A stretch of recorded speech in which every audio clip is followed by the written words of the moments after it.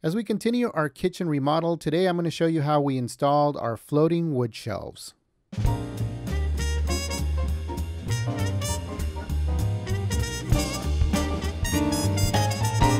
Hello everybody and welcome to the Weekend Honey Do List. So today we are continuing with our kitchen remodel. We are installing floating shelves and uh, as you can see, we have a galley style kitchen. We just got uh, cabinets put in and we decided to put a pretty feature on the end instead of another cabinet. So we're putting in uh, our floating shelves. Floating shelves that we bought are from reclaimed wood and the design is just so well done. Uh, they're sturdy and they're just beautiful. If you're interested, I'll have a link below. So the first thing I wanted to do was install them on our drywall because we're going to get tile put in for the backsplash. So I went ahead and found the studs that are there.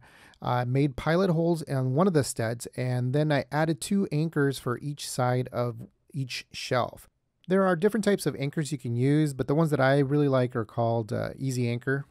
Uh, and it just screws right into the drywall. It's really easy to use and it holds up a lot of weight. I mean, there's different sizes you can do, but I picked 75 pounds.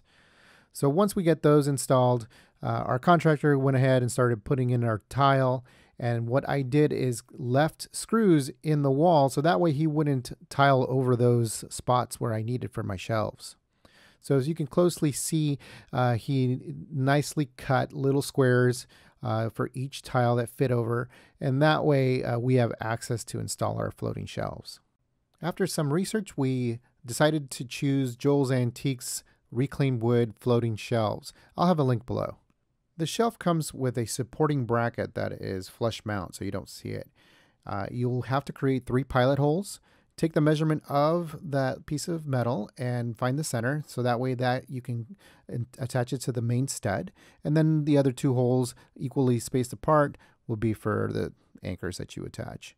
You can see the bracket right there has two holes. Uh, those weren't there initially. Those were made after I had drilled into those two pre-made holes up top and they just attached right to the metal. So the one that you get won't have that. Don't worry about making pilot holes. You're just going to drill right in through that sheet of metal.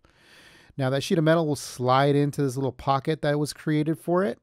Uh, once you get it placed in there, it'll center itself through because it's just cut right. So that way it'll fit in there perfectly.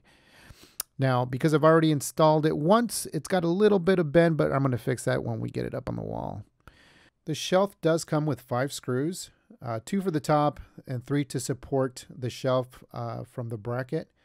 Uh, what I did was I got one screw that was a little longer because uh, we added tile and I wanted to make sure that it really held on to that stud in the center.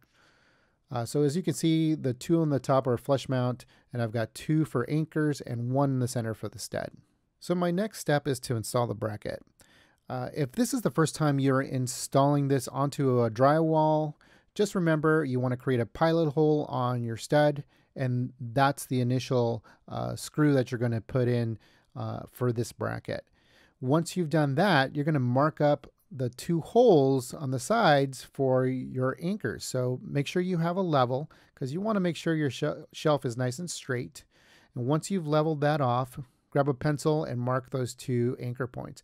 But because we've already done this, I've already measured and leveled it off and created those pilot holes and added the anchors because of the tile, it's already level. But if it's the first time you're doing it, please be sure you do that. Uh, I'm just straightening out the metal uh, piece that came because it got a little bent when I initially installed it and removed it.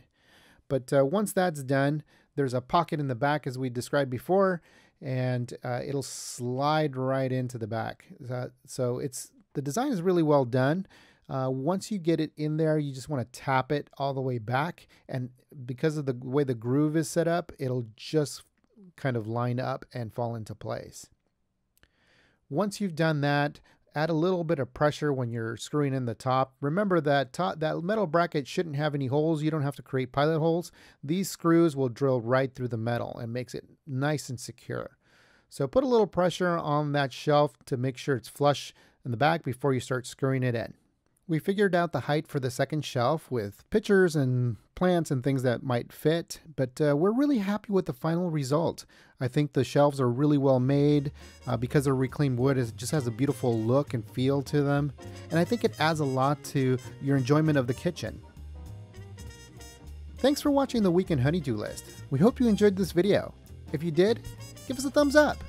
And if you like what we do, subscribe to our channel. If you have any questions or comments, leave them below and we'll try to get back to you. Thanks again for watching, and we'll see you next time.